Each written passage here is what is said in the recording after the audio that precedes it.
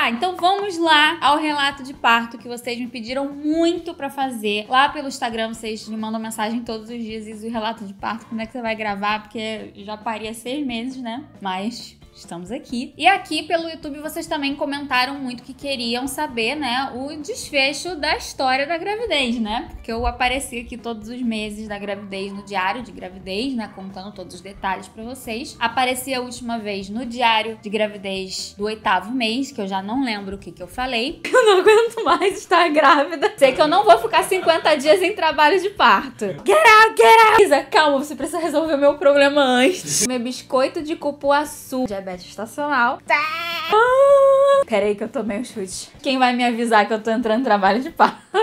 E o nono mês, pra mim, foi um grande blur. A ideia do Rafael era, era ainda vir com o diário 9 e depois um relato de parto, mas eu falei pra ele, cara, eu não lembro do nono mês. Pra mim, o nono mês é, é se resume a muito calor, muito cansaço e muita dor.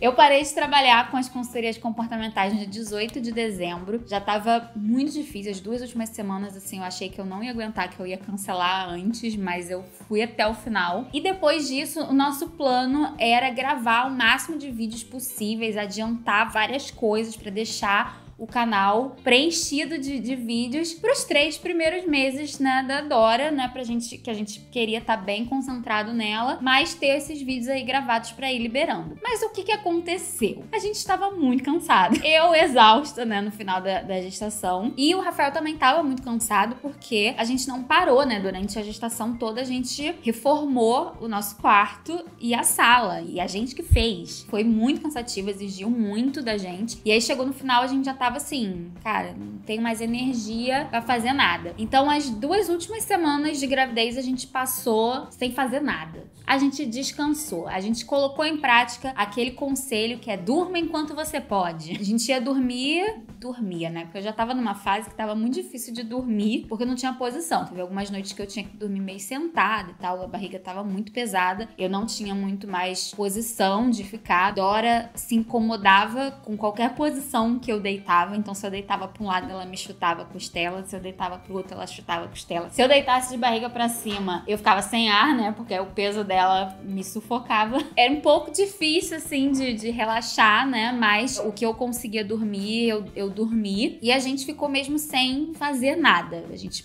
ficou assistindo série, né? A gente estava assistindo Friends. E basicamente foi isso. Aí entramos naque, naquele bolão, né? De quando que seria que, que Dora ia vir. Tava todo mundo achando que ela ia nascer no Natal. Todo mundo tava apostando que, ela, que eu ia entrar em trabalho de parto dia 24. Mas passamos o Natal ainda grávidos. Eu consegui comer bastante. Eu tava com desejo de comer rabanada desde o início da gestação. E aí Dora me deixou realizar esse, esse desejo. Comi muita rabanada. E ficamos esperando. E aí chegou o ano novo e nada de, de, de Dona Dora vir. Mas eu já estava desde o Natal, desde antes do Natal, na verdade, com contrações de treinamento, que são contrações leves, que não são dolorosas, mas que a barriga fica muito dura. E o nome já diz, é uma contração de treinamento para começar a dilatar o colo do útero. Então isso vai acontecendo aí dias, às vezes semanas antes do parto, até o negócio engrenar de verdade. Eu já vinha sentindo isso já desde. Eu, eu lembro que no dia de Natal eu tava sentindo muito, né?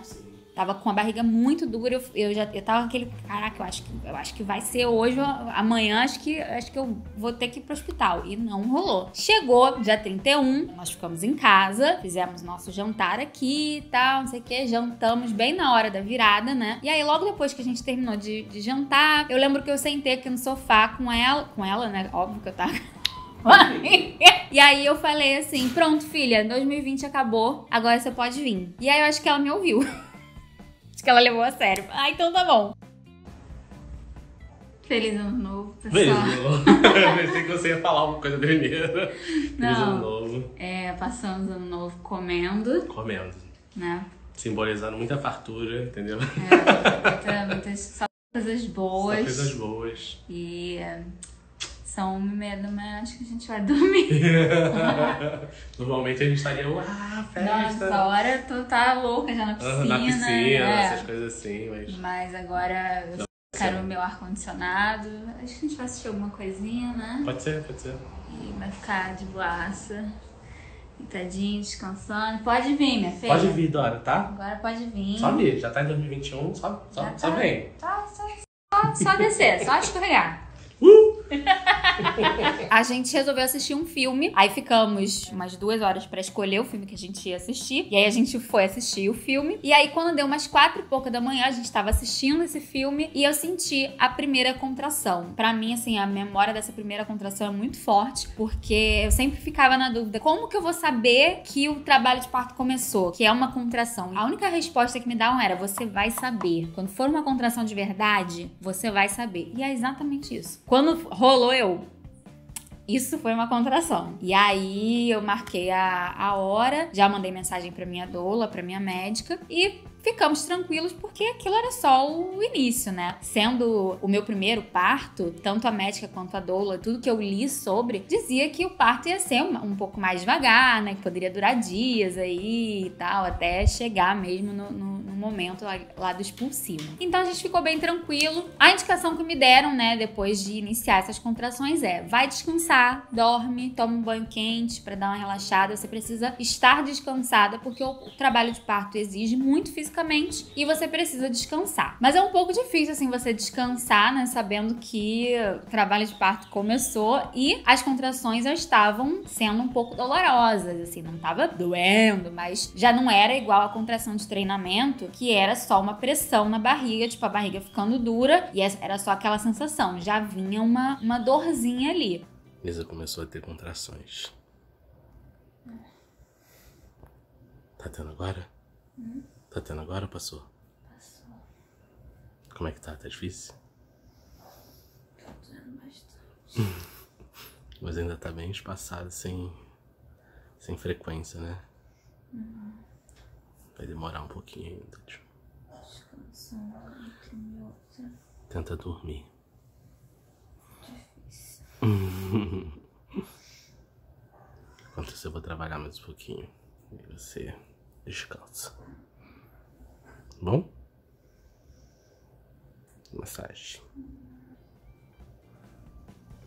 Eu tentei dormir, não consegui muito, né? fiquei meio, meio acordada, meio dormindo ali. Tomei vários banhos durante o dia, banho quente, deixei água quente cair nas costas. E sempre em contato com a médica e com a doula. E foi passando o dia 1 de janeiro. Consegui comer normal, tudo ótimo. E aí a minha memória já vai ficando meio esquisita. Porque aí eu lembro que era 8 horas da noite e a gente jantou. E aí eu lembro de eu estar comendo aqui, de eu estar sentadinha comendo. E eu lembro da, da Raquel, que é minha doula, falando que, não, enquanto você estiver bem, conversando, comendo, e tá tudo ótimo, a gente tá longe ainda, tá tudo tranquilo. E aí eu sentei ali, comi. Durante a refeição, eu sentia algumas contrações muito fortes que eu tive que parar ali, dar uma Ui, uma, uma respirada, mas beleza. Voltei pro quarto. E aí a dor começou a ficar muito forte. Aí eu falei com a Raquel e aí ela me passou um exercício pra fazer com a bola, né? Aquela bola suíça de pilates que eu tinha. Me mandou um vídeo, né? Ó, faz assim, essa posição e esse movimento que vai aliviar um pouco as contrações e vai ajudar também o seu quadril a, a ir pro lugar ali, né? Ajudar a dilatação do, do, do colo do útero e o bebê a, a descer mais, encaixar, né? Pra ver se engrenava aquilo. E aí, o negócio foi tiro e queda. Porque eu fui pro chão, fiz esse movimento e o Rafael tava assim: ainda vai demorar, talvez, né? Dia 3 ela nasce. A gente tava no dia 1 de janeiro. Aí eu lembro que ele falou assim: vou editar uns vídeos, vou aproveitar pra dar uma, uma adiantada no negócio. E aí eu tô lá na, na, na bola ali no chão, não sei o que, comecei a sentir uma vontade de, de fazer xixi, levantei com muita dificuldade, fui pro banheiro. Quando eu sentei no vaso, saiu o tampão. E aí começamos a entrar em detalhes detalhes.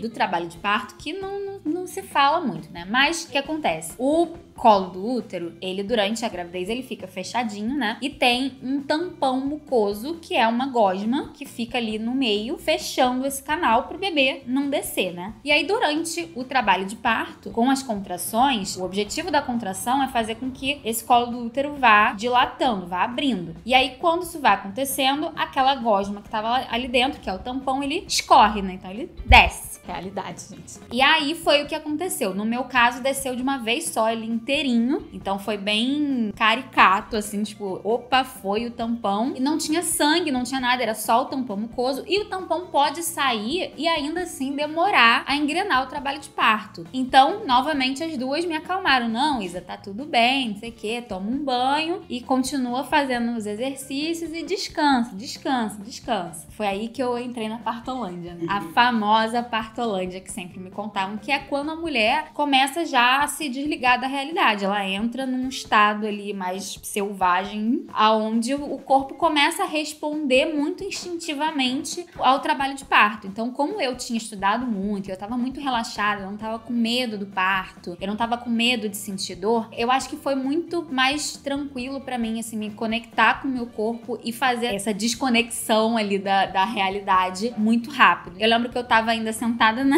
na privada. Realidade. Quando o, o, tampão desceu e tal, e aí eu comecei, as, as, contrações começaram a ficar muito fortes. E nesse momento, o bochecha foi pro meu colo, né? Vem a dúvida de vocês, como que os gatos participaram desse trabalho de parto, né? E sim, eles participaram. E o bochecha teve a sua primeira grande participação ali no trabalho de parto, quando ele vai pro meu colo e aguenta as contrações ali comigo, enquanto eu arrancava os pelos dele, coitado. E assim, aos berros, pedi para apagar as luzes, porque já não não queria mais luz na minha cara. E nisso eu tentando ir pro chuveiro para tomar um banho e eu não conseguia porque as contrações estavam muito fortes. Toda vez que eu tentava levantar, vinha uma nova contração. E aí o Rafael começou a contar as contrações, começou a mandar pra doula. E aí começou uma dúvida ali de que se tá engrenando mesmo ou se a gente que tava muito nervoso e tava contando errado as contrações. Aí a Rafael resolveu filmar e mandar pra doula. E aí ela viu, é, realmente, o negócio tá pegando. Só um adendo aqui, viu?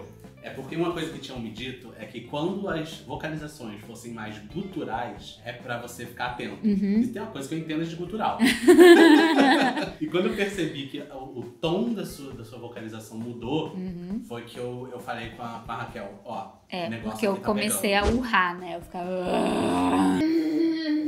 E aí eu consegui levantar, consegui ir pro chuveiro, porque eu tava assim, eu tava toda suja do tampão, né? Eu queria muito tomar um banho, não conseguia levantar. E aí eu fui pra debaixo do chuveiro, deixei água quente cair na, nas costas, veio várias contrações e eu comecei a sentir vontade de fazer força. E aí eu comecei a ficar meio desesperada. Eu falei, meu Deus do céu, essa criança vai nascer aqui. Cadê a Raquel? Cadê a Raquel que não chega? E o Rafael com o meu celular, com o celular dele, falando com a médica, falando com a doula e, e me filmando, marcando as contrações uma confusão, tudo no escuro.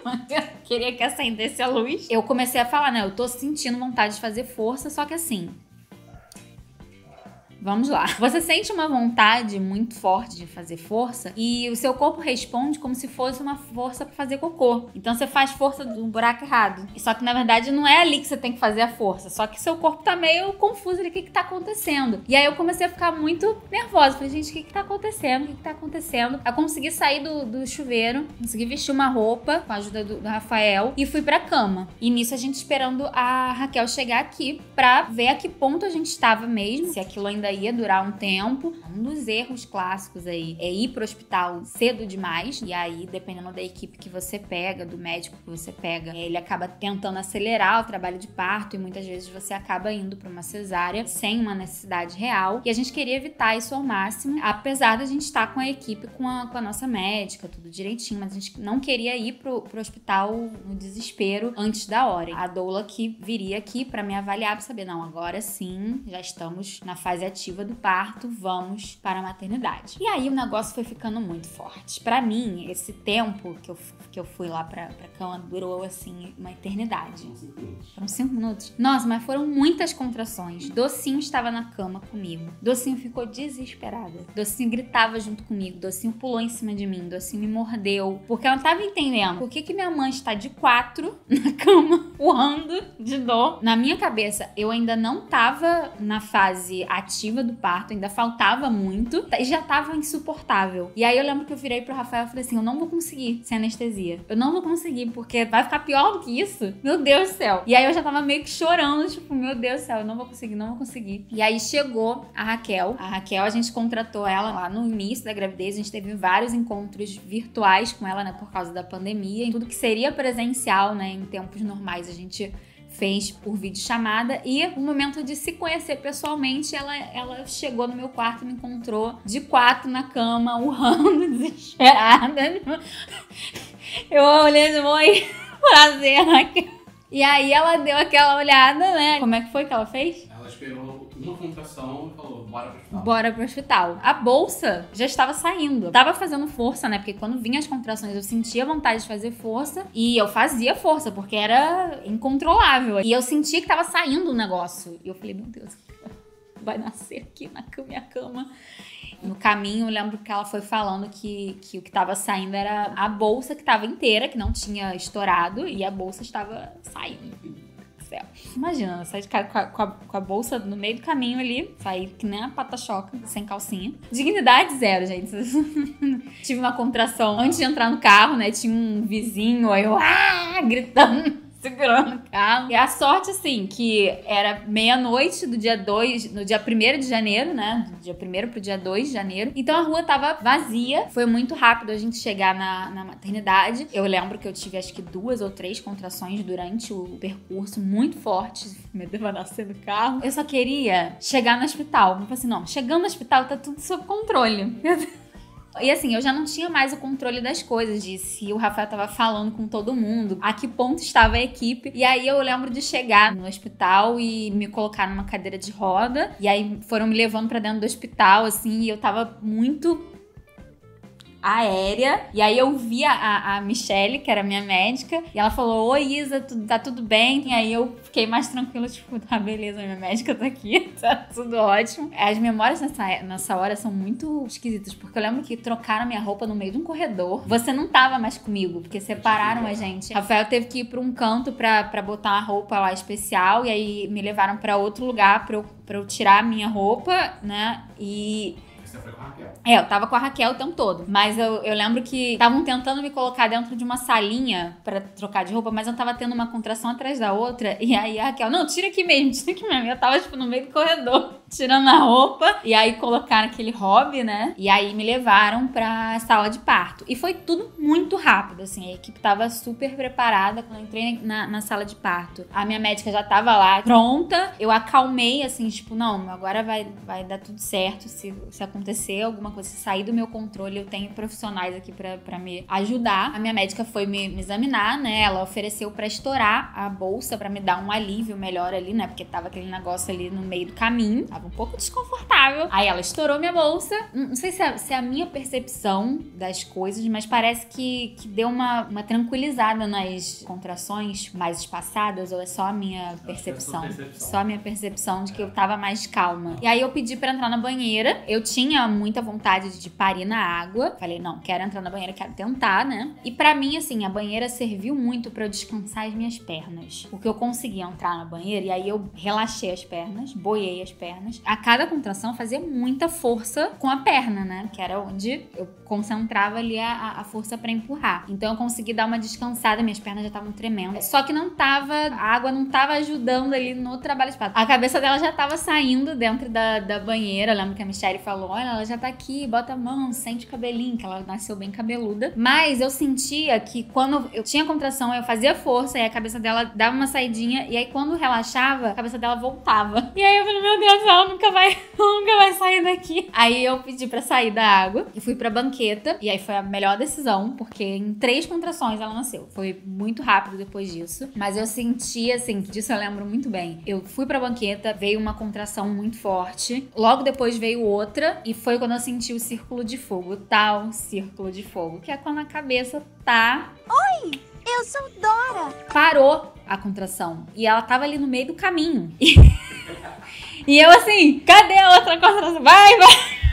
Não vinha outra contração. E aí veio a contração e aí ela saiu de uma vez só, né? E ela tinha duas circulares, né? Duas circulares de cordão. Então a, saiu a cabeça, a médica desenrolou o cordão e aí ela veio e veio direto pro meu colo e foi a coisa mais surreal da minha vida. Toda a dor passou. Nesse momento, assim, quando eu fiz a, a última força e ela veio pro meu colo, pum, eu não senti mais nada. Eu só fiquei tipo, meu Deus do céu. Eu não sei nem o que, que eu pensei. É muito real, muito real. E eu lembro dela muito molinha, muito, muito quentinha e gelatinosa.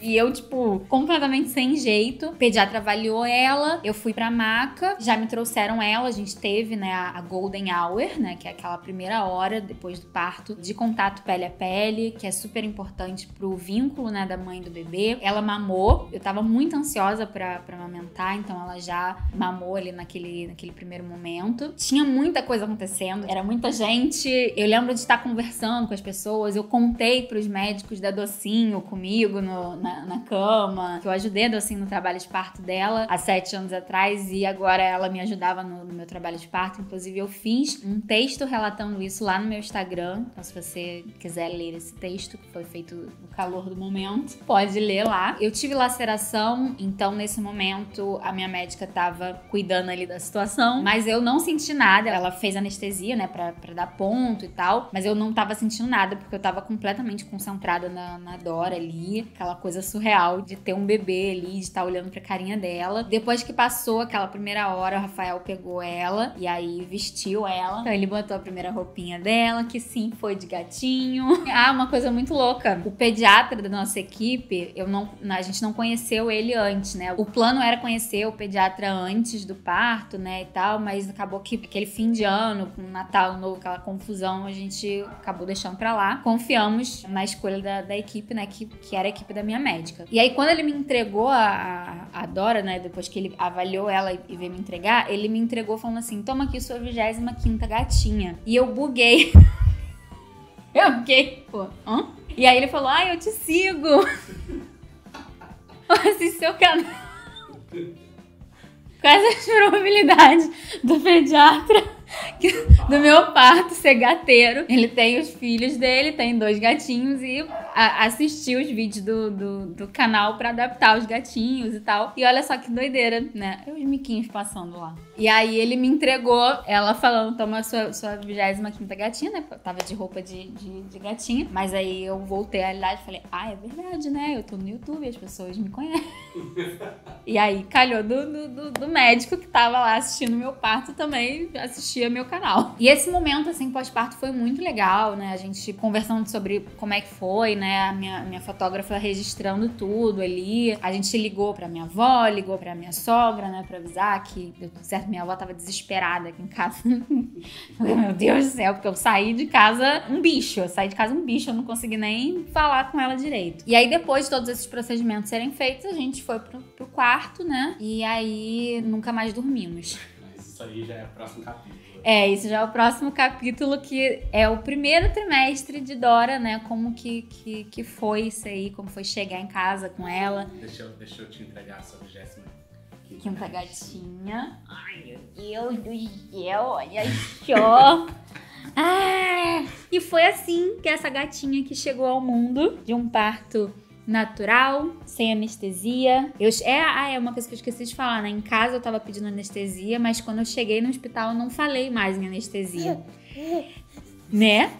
E a anestesista da equipe tirou fotos, filmou, foi ela inclusive que filmou o meu expulsivo. Eu tenho isso gravado, obviamente que eu não vou mostrar para ninguém. Eu pude me assistir parindo ali do ângulo ginecológico nessa situação. Foi a minha anestesista que, que fez os vídeos porque ela não foi solicitada. E aí no, no final ela até falando, né? Ah, você nem, nem falou nada de anestesia e tal. Falei assim, em casa eu tava gritando por você, minha filha. Mas quando eu cheguei aqui, já, já tava em outro mood e fui sem anestesia. Yeah meu amor. Ai, meu Deus.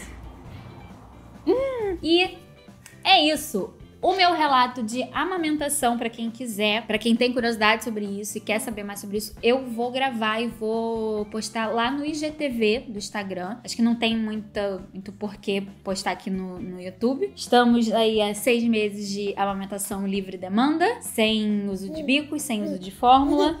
Iniciamos a introdução alimentar já, né? Estamos começando, tem alguns dias. Vocês podem acompanhar tudo lá pelo Instagram. Deixa o like nesse vídeo, se inscreve no canal. Não! Quer pegar o microfone? Deixa o like nesse vídeo, se inscreve no canal e nos siga nas nossas redes sociais, porque lá tem conteúdo exclusivo que vocês não vão ver por aqui. Ah, dá tchau. Tchau. Mm.